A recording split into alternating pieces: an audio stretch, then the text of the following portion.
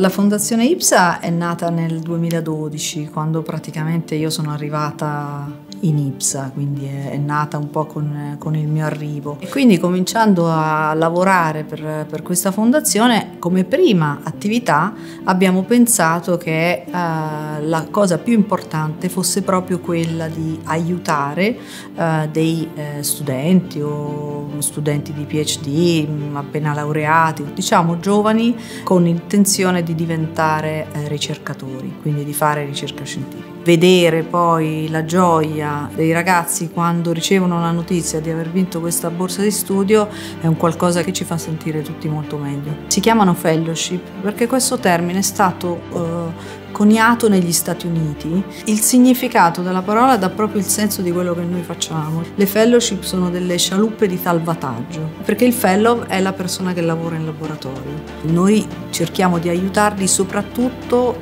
in alcune aree scientifiche che sono particolarmente poco finanziate. Sicuramente il consiglio che darei è quello di investire e quindi in qualche maniera sostenere ognuno per le sue tasche, per le sue modalità, per le sue possibilità, sostenere la ricerca scientifica. La ricerca scientifica può cambiare il mondo.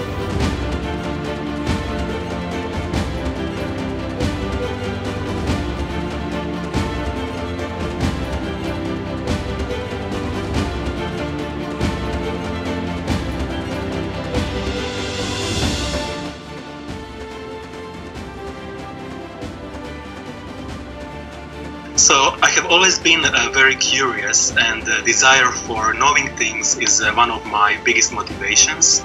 And uh, science also provided me with the environment where I can fully embrace my creativity. Uh, in my opinion, um, research is a hope and also a promise for the better future for all of us. Winning the prestigious IPSA Fellowship reward provided me with the financial stability at the very sensitive stage of early career. Thanks a lot to the IPSA Foundation Fellowship. Uh, it, gave me the first note from the public, but it's extremely important for a new guy in the field.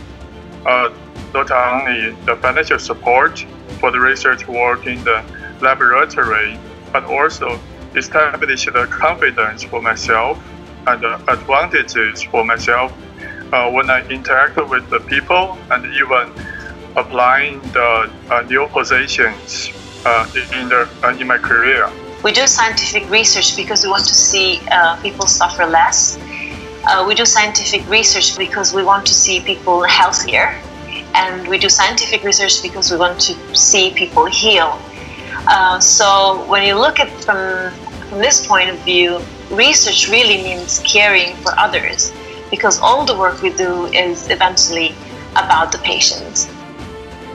La ricerca è un'avventura, è come corteggiare una bella donna, quindi bisogna che continuino a corteggiarla.